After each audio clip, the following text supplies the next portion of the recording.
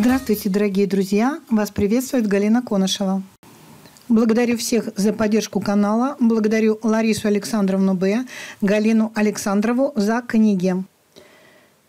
По многочисленным просьбам в комментариях после фильма «Чего вы не знали об Архангельске» книга Брюина, Корнелия Брюина «17 век», вы попросили продолжить исследование по этой книге.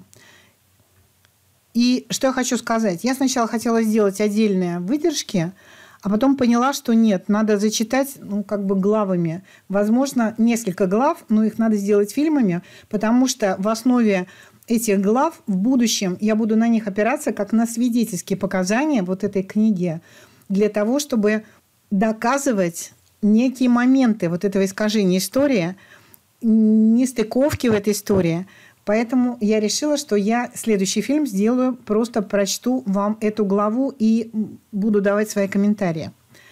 И, конечно же, я жду ваши комментарии, потому что вот в предыдущем фильме, в первой, можно сказать, тогда части, здесь Корнелиус описывает о том, какая богатейшая природа, что там люди вообще голода не знают, что там круглый год, они не знают, куда даже девать свои продукты, что у них там и куры, и индейки. Так вот, мне сейчас прислали комментарии о том, что никаких индеек в Архангельске нет, потому что климат не позволяет их разводить, потому что это очень ну, дорого содержать их. В лучшем случае куры.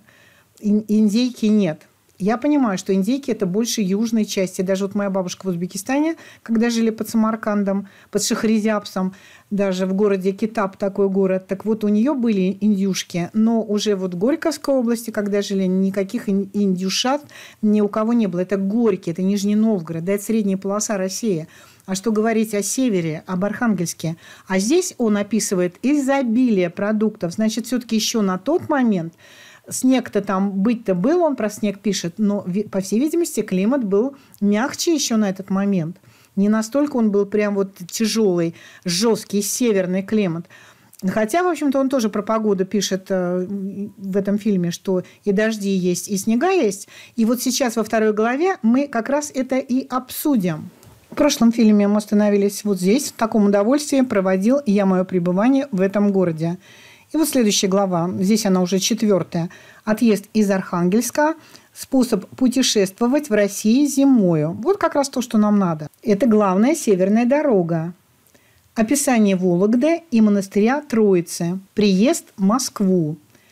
Я выехал из Архангельска 21 декабря в 3 часа по полночи. То есть по это зима, да, вот это самая-самая зима. Господином Авраамом Кинзиусом, которого сопровождали два солдата и который снабжен был подводою, то есть приказанием, чтобы ему давались лошади бесплатно. Но ямщики все-таки не примкнули и при этом извлечь для себя малую толику. Господин Кинзиус имел шесть саней, которым я присоединил и свои сани, разместившие пожитки свои между пожитками господина Бранца – для подобных поездок санями нужно запасаться в Архангельске, ибо ямщики доставляют одних только лошадей. Сани эти делаются так, что один человек может удобно улечься в них. Нужно иметь также свою постель, шубы и добрые одеяла, чтобы защититься от сильного холода.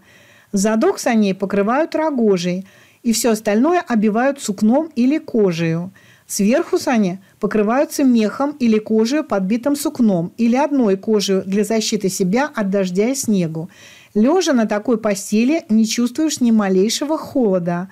Таким образом, мы ехали день и ночь, запрягая в каждой сани по паре лошадей, которых переменяют через 15 верст, коих 5 полагается на один час. 5 полагается на один час. Интересно конце каждой версты у русских стоит знак с надписью «Верст». В настоящее время верста содержит в себе 100 сажень. Каждой сажени три аршина или голландских локтя. При езде из саней выходит в день один только раз для того, чтобы поесть. Ну вот здрасте. А, а, а в туалет сходить элементарно? Ну хорошо. Из саней выходит один раз, чтобы поесть. Вот он лежит целый день в езде. Вот, да, ему может быть не холодно, он там весь закутан одеялами, мехами, мехами. А если что, он что, лежит, вот он целый день лежит, но он закутанный. А тот, который тебя везет, он тогда как? А что такое, что такое зимняя дорога, там, где нет городов? А каким образом они не путаются, не сбиваются с пути, если это белый снег один?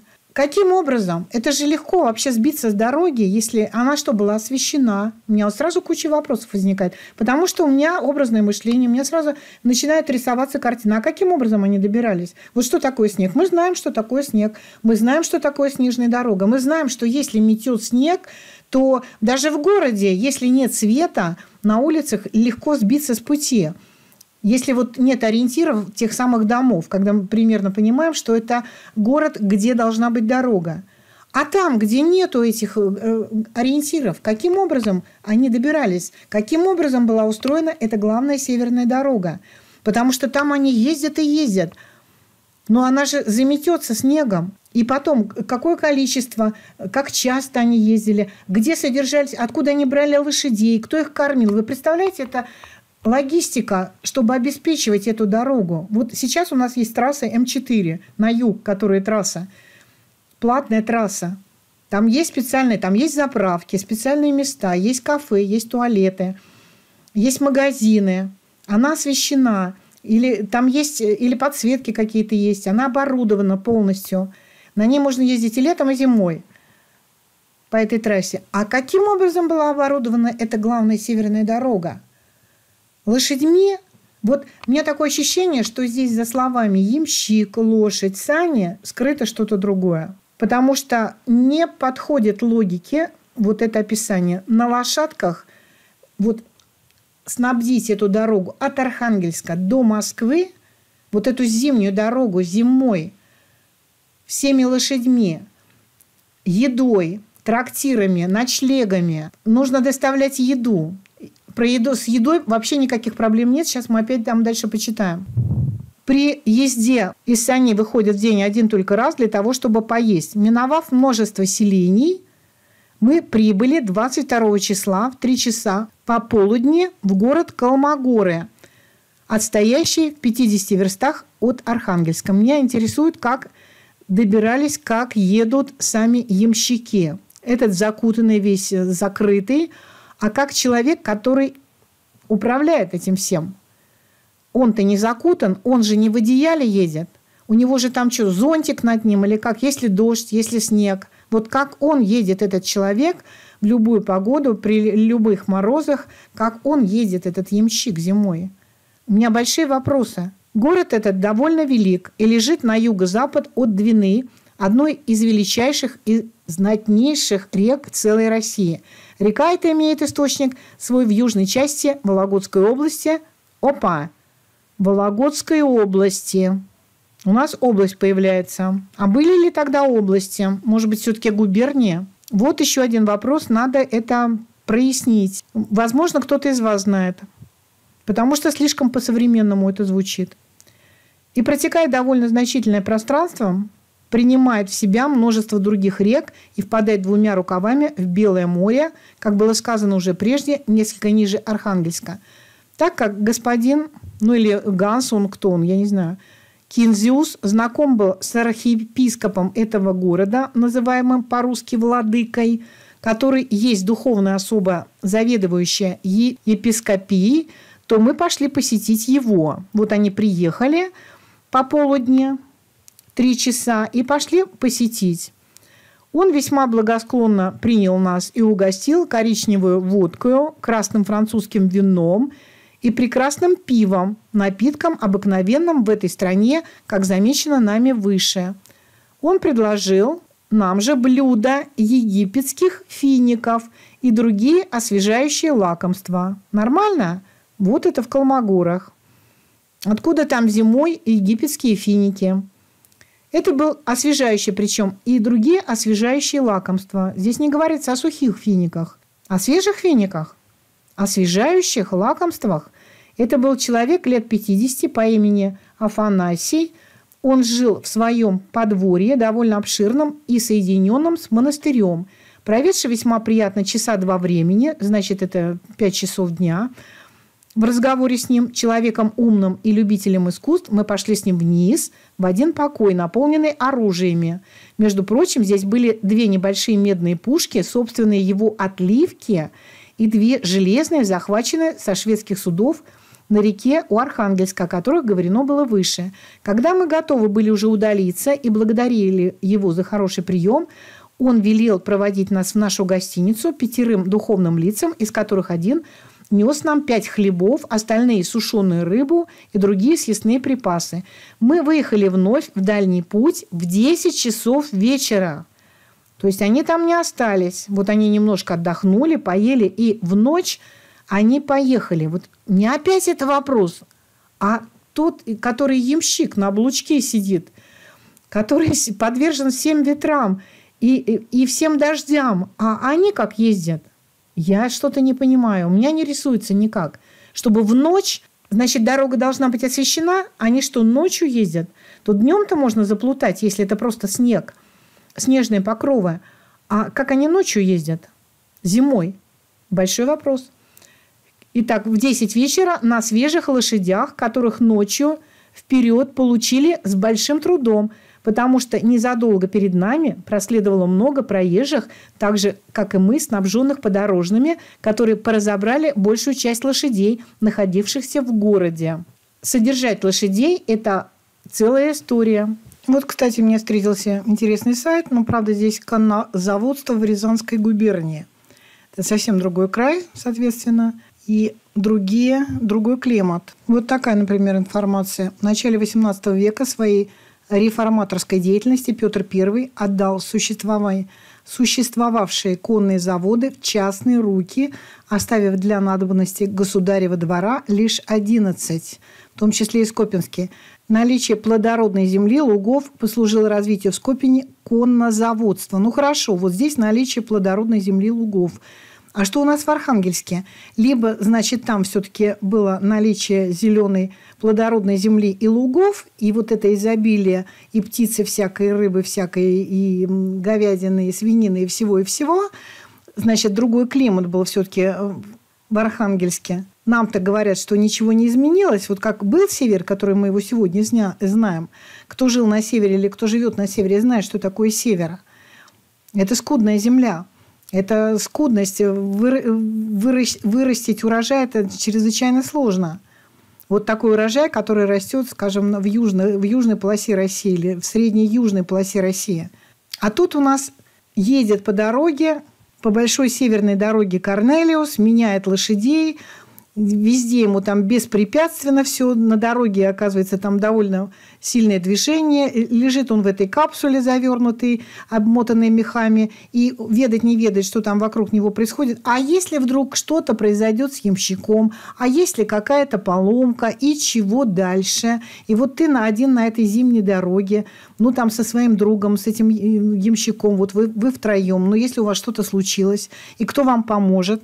И вот кругом этот холод и снег. Я не представляю, что-то здесь за этим скрыто, потому что он ни разу не сказал, чтобы у кого-то были какие-то проблемы на этой дороге. Все как будто бы само собой разумеющееся. Все едут благополучненько, как будто так оно и надо. Только вот один раз там какие-то разбойники крест серебряный снял, поменялся своим крестом. Вот и все. Здесь э, по поводу Петра этого времени, что есть беглецы, с них не взимать подати, числящихся за этими беглецами, с их односельчан с 1708 года. Значит, до 1708 года, если бегали односельчане, ну, не моготу им было, значит, э, за них брали все подати, увеличивалась подать с односельчан. Ну, прям вот как немцы поступали, фашисты. Если кто-то убивал из односельчан, партизан убивал какого-нибудь фрица, то за одного убитого фрица расстреливали 10 селян. И вот здесь расписано, как надо содержать лошадей, сколько корма по годовому конюшенному окладу. Нужно же собрать этот корм жеребцам августа с 1 по май. Вот.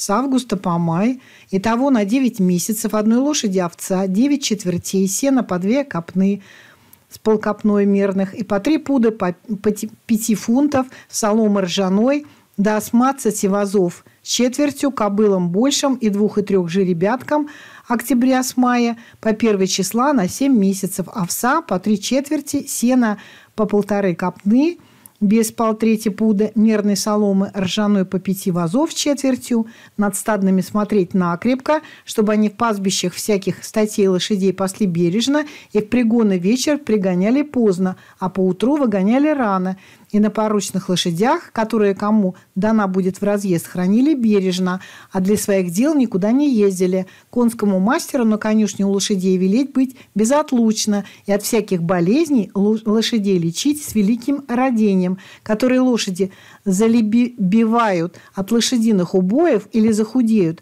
приточными болезнями, или сапом, или хилые, и тех от здоровых лошадей отбирать вскоре и кормить особо постатейно – и на одном водопое здоровыми их не поить и не гонять. Вот еще и водопой должен быть как кобылы будут бережиться, и того велеть статному конскому мастеру смотреть накрепко днем и ночью со свечами, чтобы жеребым кобылам и молодым жеребенкам кобылкам никакие порухи не учинилось, управителям более надзирать самим с усердиями и с казенным ничем никому не сужаться, и в пастбище по дружбе сторонних ничьих лошадей не пущать, не велеть, и жеребцов к посторонним кобылам не пущать, и за стадными сторожами смотреть накрепко, и ежели в чем явится является винным, то зато по рассмотрению чинить наказание. Вот так все серьезно было. Это действительно очень серьезный бизнес, который он отдал. Вот это все было государственное, очень что-то знакомое напоминает. И он отдает в частные руки. То есть он такую рыночную экономику устраивает, Петр I. Его реформы так называемые. У нас тоже были реформы.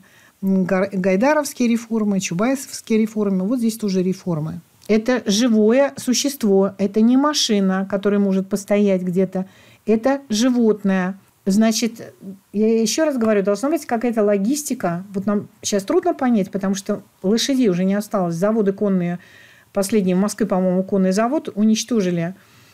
Мы не знаем, как, как это все происходит. Это трудное производство разводить лошадей. Лошади должны быть специальные. Это не просто лошади, да? их нужно вырастить.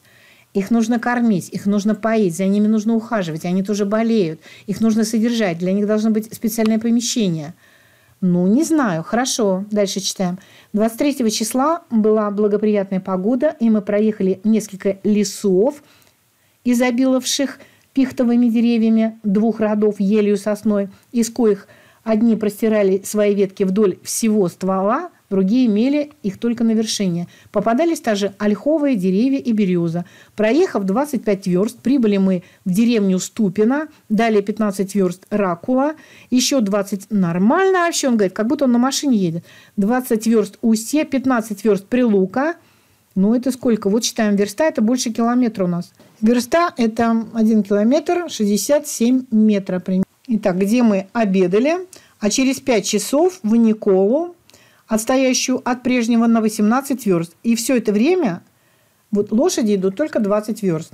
Следующий надо менять. Они постоянно, получается, меняют на свежих лошадей. Еще раз, даже если лошадей поменять, ну что, ямщики, может быть, меняются? Потому что едут и едут и едут. Нигде не сбиваются. Тут 15 километров, тут 20 километров, тут 15 километров. Это вот они в ночь выехали, они ночью едут. Он что, не спит, что ли, все записывает? Вот еще 18 верст. Оттуда 18 верст Калина, и от него еще 19 верст Сийская, последняя стоящая в ведении Архангельской области. Опять Архангельская область у нас выплывает. Оттуда 18 числа мы проехали Березники. Вообще-то губернии должны быть, а не области. Березник в стране Вашской, где мы взяли свежих лошадей. А что, вот это все, это все старые лошади ехали? Одни и те же лошади? И где нужно было несколько раз переезжать реку Вагу. Оттуда проехали 30 верст, 30 километров, прибыли в Усть-Вагу, где и подкрепили себя пищей и питьем. Ну, не знаю. Не знаю, не знаю. Здесь интересная сноска есть. Первый архиепископ Калмогорский и Вашский, посвященный 1682 года из крестовых патриарших и иеромонахов. Вот мне вот это интересно, крестовых патриарших и иеромонахов. Сейчас вроде нет таких названий в религии, в церкви. Так, продолжаем. Остановились мы 4 часа пополудни. Вот всю ночь они ехали, он рассказывает, там, там, там. После чего продолжали наш путь. 24 числа приехали мы в деревню Кицко, 19 верст оттуда, следуя большой части вдоль реки. Еще проследовав 15 верст, я не понимаю, как они добирались зимой. Вот следуют и следуют и следуют, как будто они по рельсам следуют. Прибыли в Воромину. По полуночи а новых 15 верст проехали Золотилово. 25 числа, сделав 20 верст, мы прибыли в Шинкурск, главный город страны Важской, на реке Ваге. Оттуда двинулись мы далее и через 15 верст приехали в Усть-Падинку, деревню, названную по реке Падинка, при устье которой она лежит. Тут мы поели и тронулись далее к Усть-Пачи, 15 верстах деревню, так сказать, Пачи устью, ибо устье – по-русски наша, наша Нонт, немецкая Мант. Течение реки, вдоль которой ехали мы, было 20 верст до Балтинской, куда прибыли мы в самую полночь. Но, но он как будто на поезде едет. Вот такое ощущение. Может быть, не на таком быстром, но как будто бы на поезде, у которого есть рельсы, никто им не мешает, вот они едут себе, тут они остановились, там они остановились, дальше поехали, без перерыва едут, едут, едут, и только вот-вот-вот ночью вот приехали, и там у них такой перерывчик отдых. 26-го сделали еще 20 верст и очутились в Павлове, а затем еще 30 верст в Заозерье, где поевши пустились в Низово, куда и прибыли через 24 версты, оттуда через 18 верст – в Акомину. Между этими двумя деревнями мы проехали через большое селение Верховажье, где один раз в неделю бывает большой торг. Далее поехали мы в Шилович, иначе называется Великий двор, 18 верст от прежнего. В него мы прибыли в полночь, опять в ночь. Ну, как на, на, на поезде едут, на курьерском. Проехав еще 15 верст, очутились мы 27 числа в Золотой – Оттуда направились в Ергинку в 25 верст, а потом 14 верст в Радчину, далее 15 верст Самжена – на реке Самжени, а 28-го приехали еще 15 верст, прибыли Филинское, затем переехали Большой лес Каменев, который в ширину имеет добрых 20 верст, а через 25 версты приехали в Двиницу на реке того же имени, где мы узнали, что недавно еще трое русских купцов, въехавших тоже из Архангельска, были ограблены 26 человеками разбойников, и что один из этих грабителей снял с главного из купцов мне знакомого серебряный крест, которые носят обыкновенно в этой земле на груди. Значит, они не христиане, которые вот пишет Корнелиус Брюн, он не христианин.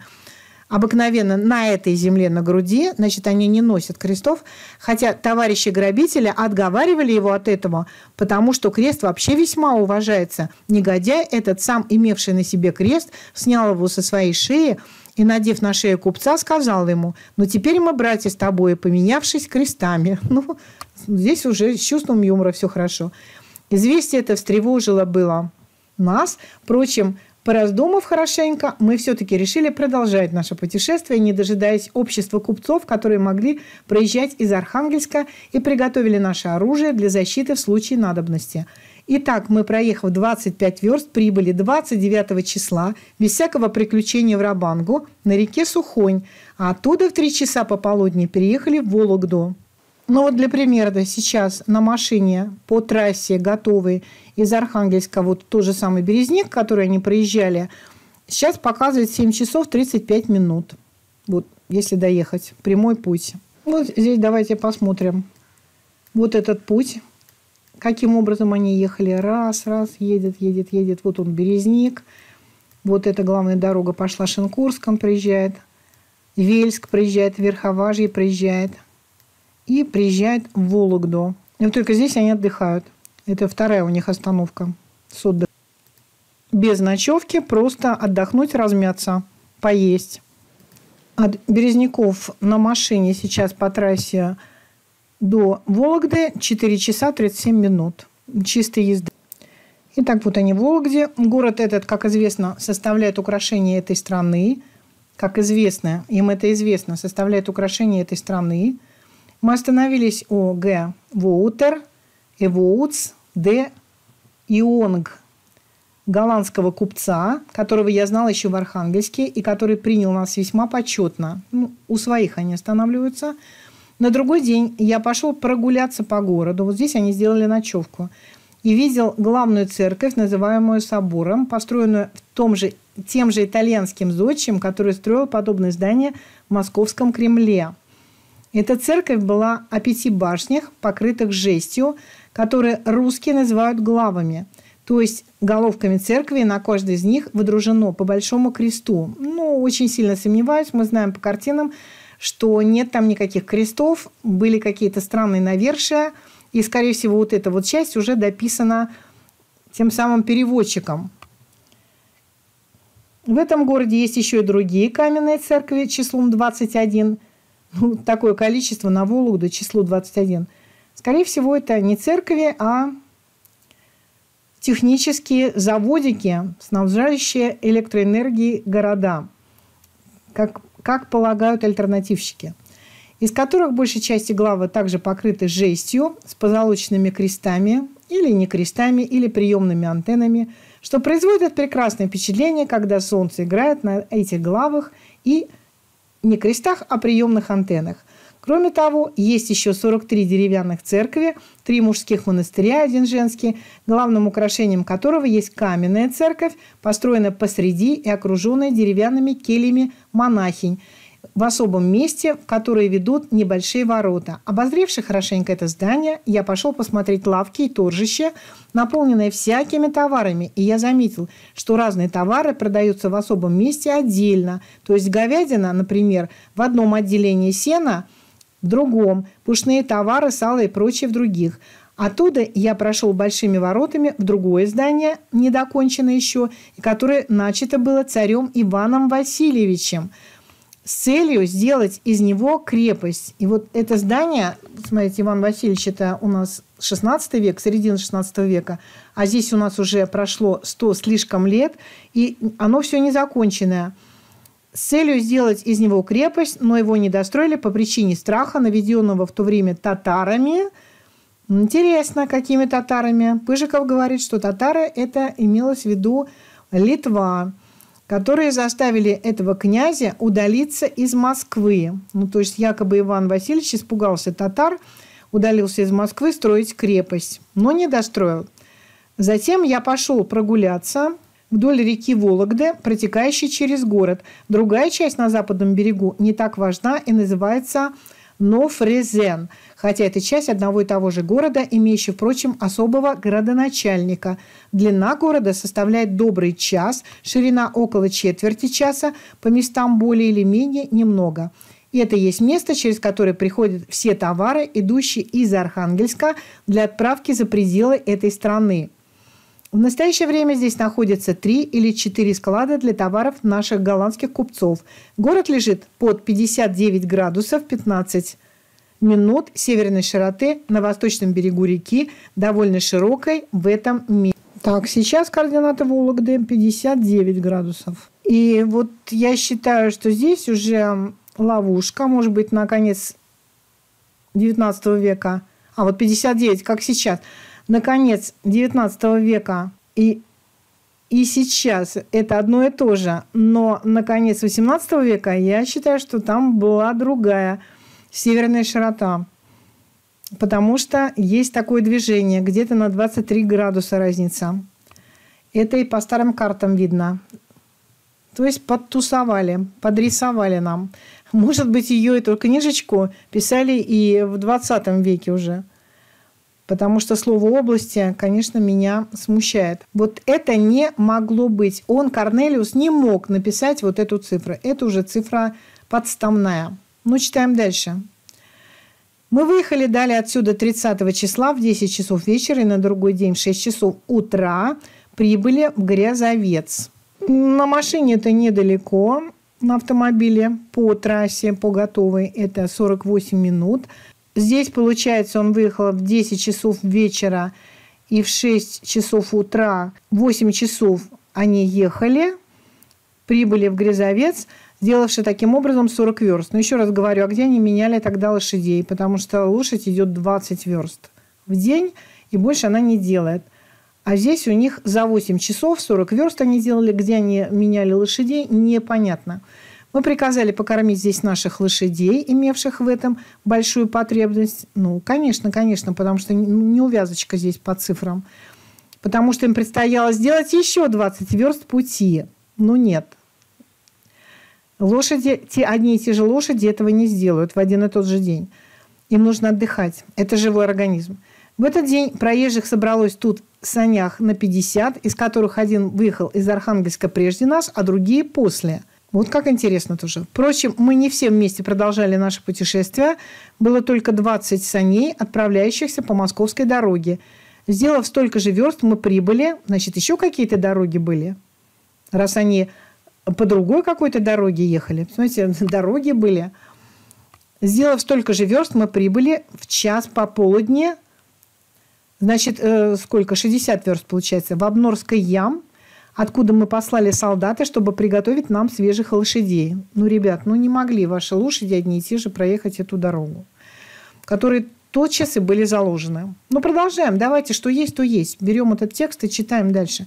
Таким образом, ехали мы 30 верст и приехали в Телячье, а еще через 30 верст в Ухорский ям – а семь верст далее в Даниловский. Прекрасное большое местечко, где ведется торговля и где находится большой конный завод, на котором в числе лошадей есть более двух тысяч, принадлежавших царю. Данилов. Сейчас вот отсюда это Данилов. Дата основания пишут 1592 год. Это еще до Романовых. И здесь административный центр Даниловского района Ярославской области, железнодорожная станция Северный железный дороги образуют одноименное муниципальное образование городское поселение Данилов как единственный населенный пункт в его составе. Здесь железная дорога.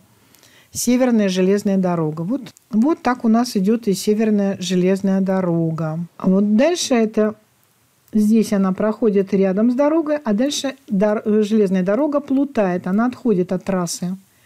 Вот в Грязовце она есть, она с трассой не совпадает. В Вологде она тоже есть. С трассой она расходится, железная дорога. Через Харов идет, Важега. Вот так она идет. Она срезает. А здесь показано по, по вот этой дороге. Они едут. Но кто знает, вполне возможно, что там была своя железная дорога до Архангельска, которая попала под засыпы, заносы. И сейчас новая дорога проложена. Здесь она совпадает, железная дорога, с, с, большой древней северной дорогой. Вот на этом участке. Итак, в Данилове они остались до 4 часов по полуночи, до 4 часов утра, и прибыли через 23 версты в Акшеру, в Акшерский ям, где застал нас первый день 1702 года – Пустившись далее и проехав деревню Тверова, Творина, прибыли мы в Ярославль, один из знатнейших городов России.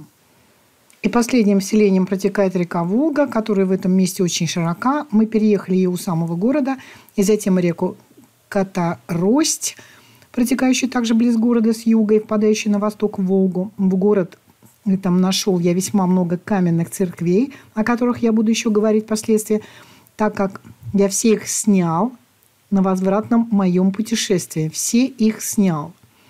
Переехавши Катарость, мы въехали в предместье, называемое Трупино. Хорошее название где и пробыли 4 часа, чтобы поесть и переменить лошадей. Мы отправились отсюда в 10 часов и так спешно ехали, что 2 числа в 7 часов утра прибыли в деревню Никулу, сделав 55 верст, нормально, на одних и тех же лошадях. Сам же писал, что только 15 верст, и лошадей надо менять. А здесь он проехал 55. В среднем считается, что 20 верст максимум. В один день лошади одни и те же могут сделать. Итак, через шесть верст были уже в Ростове, которые мы только проехали. Митрополит имеет, то есть он даже в Ростов не заезжал. Менять лошадей хотя бы или отдохнуть, или еще как-то. Митрополит имеет свое место пребывания в этом городе, наполненном множеством каменных церквей, которые служат ему большим украшением. Город стоит на правом берегу озера того же имени, который лежит на востоке от места, где мы отъезжали город, проезжали город. Отсюда открывается много маленьких деревень. Интересно, а сейчас они есть или уже исчезли? Большая часть народа населения питается здесь чесноком и луком – Монастырь царевича Петра, окруженный несколькими домами, не далее как «Получайся отсюда». Мы пустились далее и в час пополудни приехали в Вашку, сделавши таким образом 38 верст. Мы здесь обедали, а сделавши 20 верст далее, приехали в Переславль-Залесский, главный город области того же имени, плохой и расположенный на запад на берегу Переславского моря или озера. Плохой почему-то. Почему он у него плохой? Было 9 часов вечера, когда мы прибыли сюда. Полночь мы отправились уже далее. Сделав 30 верст 3 числа в 6 часов утра, приехали мы в Торбеево. Отсюда до Троицы нужно беспрестанно спускаться и подниматься на небольшие горы на протяжении 30 верст. Вот интересно мне по поводу озера или моря Переславля-Залесского – а было ли оно на этот момент? Вот для меня лично, как для исследователя, большой вопрос, потому что озеро – это, скорее всего, радиоактивное от воронки, потому что там находили импактиты. Так что большие-большие вопросы по образованию этого озера или моря. Итак, сюда приехали мы час пополудни – и оставались 6 часов. Вот здесь они отдыхали хорошо. В это время осмотрел я монастырь того же имени Троицкий, мимо которого проехали мы, подъезжая к селению. Он окружен высокой стеной из камня. Вот все время он очень много каменных зданий описывает, из которого воздвигнуто и все здание монастыря – углы стены которого выведены четырехугольником, украшены прекрасными круглыми башнями, а между этими угольными есть и другие башни, четырехугольные. Но это, видимо, что-то очень такое красивое должно быть. Из последних башен видны две четырехугольные с лицевой стороны монастыря, которые лучше всех других, и мимо них проходит большая дорога. Монастырь этот отстоит доброй четверти часа от селения на правой стороне, идучи в Москву. Он имеет спереди три ворот, трое ворот, средние ворота, через которые я решился пройти, имеют два свода, под которыми находится небольшая старушка, занятая солдатами, которые были также и у наружных ворот. Пройдя в эти ворота, видишь посреди главную церковь, отдельно стоящую от прочих зданий. Палаты его царского величества великолепные – и царские снаружи находятся по правую сторону, и ход в них идет двумя различными лестницами. Передовая сторона этих палат чрезвычайно обширна. Они имеют несколько ярусов, во внутренность их не соответствует наружной красоте.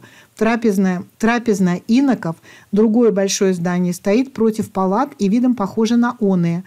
Вся она украшена маленькими колонками, и камни расписаны различными красками – Церковь, о которой мы сейчас сказали, находится между этими двумя зданиями. Есть еще здесь четыре другие значительные церкви и пять меньшего объема. Монастырь этот с виду походит на крепость, и архимандрит или настоятель его составляет в нем высшую власть.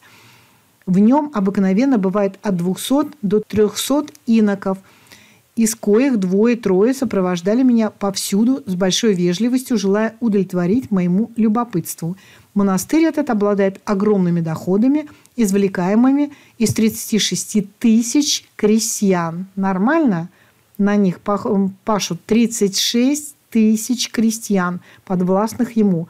От погребения многих знатых господ, также имеющих здесь и свои могилы или склепы, от служения обеден по умершим и от других подобных вещей – Самое селение довольно обширно в длину и наполнено с правой стороны кузницами со стойлами для ковки лошадей. Пустившись отсюда через 30 верст, достигли мы деревни Братовщины, где осмотрели наши товары и наложили на них печати, которые снимаются только в таможне в Москве. Пробывши тут нужное время, мы в три часа по полуночи отправились далее, и целых 30 верст должны были сделать прежде нежели достигли Москвы. Всего-то 30 верст.